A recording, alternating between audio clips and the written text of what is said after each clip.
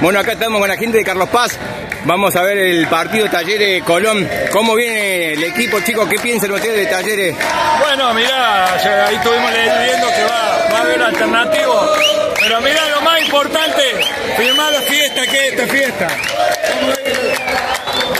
Todo esto es la fiesta de, Talleres.